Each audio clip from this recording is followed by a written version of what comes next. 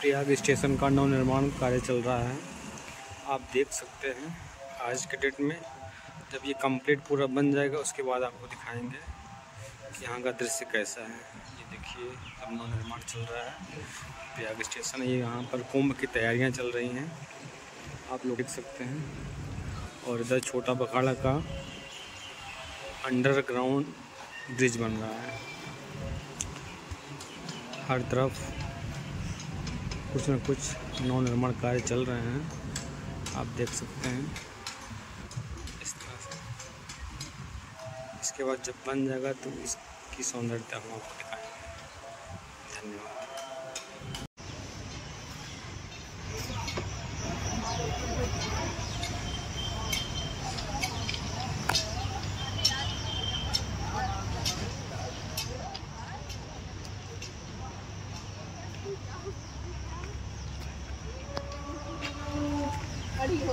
हाँ